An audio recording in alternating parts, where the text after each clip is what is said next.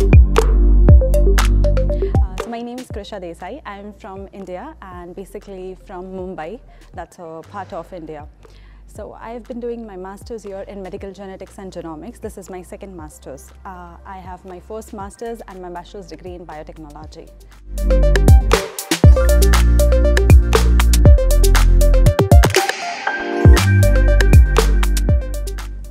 Reason for choosing medical genetics was basically when I was back in India doing my master's, I did not have a practical opportunity to go forward with medical genetics. I had all theory-based questions and I was very much fond of loving uh, medical genetics as a practical form. So then I wanted to work with patients, I wanted to work in hospital and I wanted the diagnostics parts mostly in my studies, but I couldn't find that in India. So then I applied for University of Glasgow. University of Glasgow was my first choice and I was very nervous that I wouldn't get it because giving the ambience and giving the ranking of University of Glasgow, but I was very glad that I got it in first round.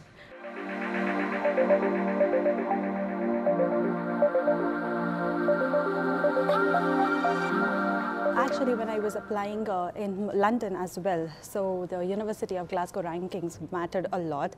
People were literally telling me, if you get that university, you are lucky. So it's like more than London, you'll get to go in University of Glasgow. It was that kind of impression where everybody gave me. So I was really happy. My parents were very happy when we got the offer letter. We were like, yeah, you're going to Glasgow.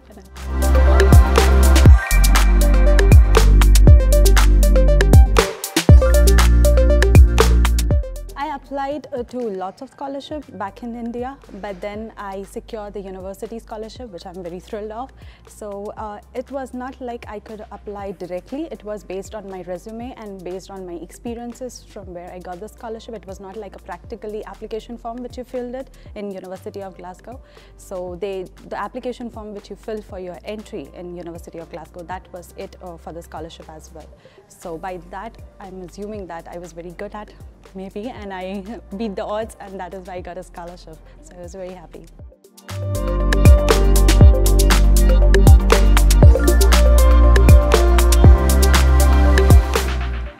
Would uh, recommend to every student who are pursuing their masters or who are already here or who are coming to Glasgow for further studies, I would just recommend that don't give up. It's pretty hard being an international student to cope up with the study schedules, to even cope up with uh, the language here. But I would say just don't give up. It's like one at a time and you will get to it. It was very difficult for me as well. I'm still learning in that process, but I'm not ready to give up. I'm like, I'll fight for this. This was my dream.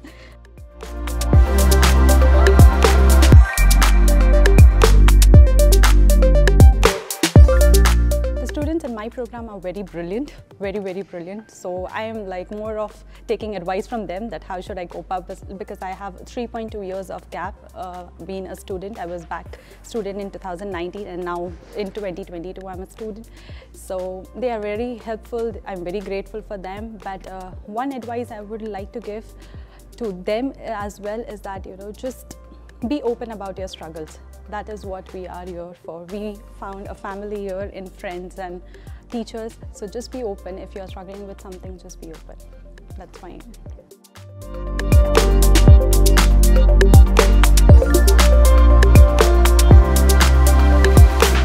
This was my first experience.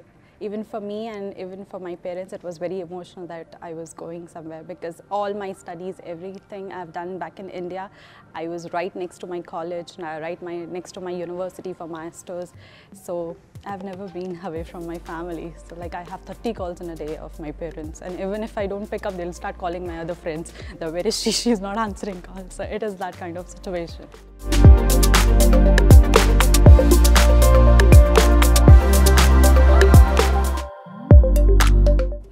Really like studying. Like back in college, I was really a nerd. I used to spend more time studying, studying, studying. I was that passionate. And then when I started working, I thought I'll enjoy that phase. You get to earn, you get cash in your hand. But uh, then being a student is like a freedom. You explore places, you go out with friends, there is no restriction, and it's just wonderful.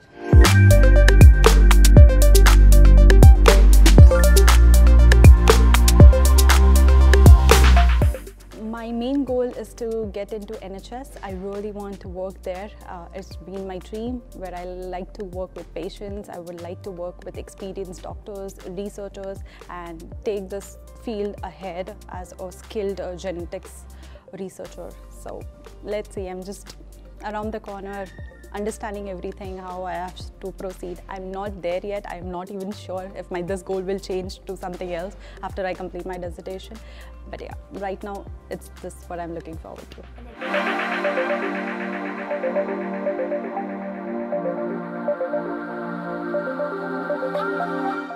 Absolutely, to everyone. Even uh, my younger brother, he is very keen of coming to Scotland next year for my graduation ceremony. And I was like, no, you apply to University of Glasgow for your further studies. I'll be there to help you, to support you. Please apply here.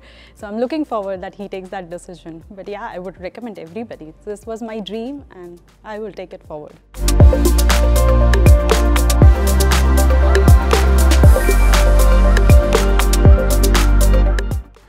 Really recommend uh, medical genetics and genomic field to whosoever is looking forward to go in genetic counseling or becoming a clinical geneticist. This is the field for you. Like it will give you a very good knowledge, in-depth knowledge with practical sessions. You will have NHS lecturers coming.